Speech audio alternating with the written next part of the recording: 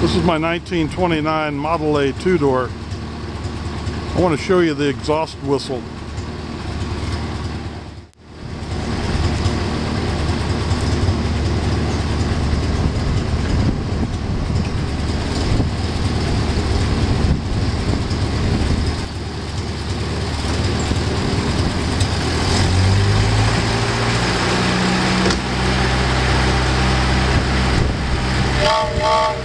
wow, wow.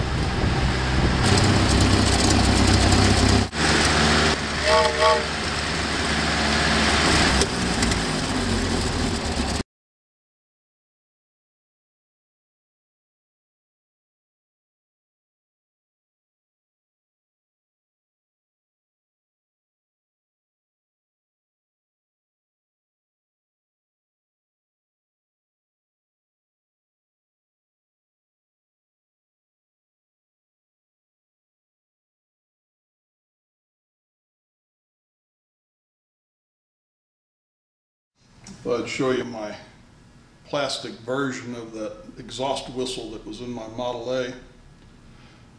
It's all one inch PVC. I made the fipples out of three quarter inch, machined it a little bit on my lathe.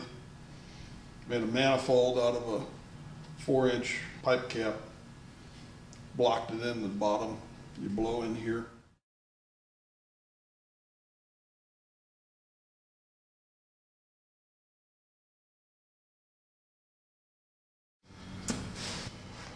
I sanded the mouth on the pipes with the reciprocating spindle sander. It seems to work pretty well on these small pipes. I tried it on a larger piece of pipe and it's not very impressed with it so far. I got the four fipples glued into the block here.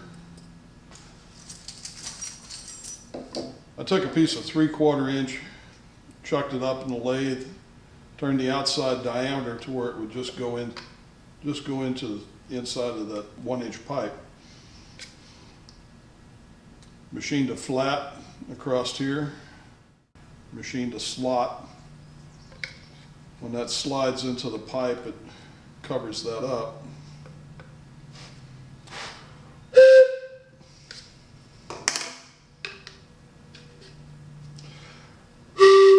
Took a wooden dowel, put it in the end, put a piece of paper towel over the end of this piece of pipe and push the dowel down in there and got a nice tight seal.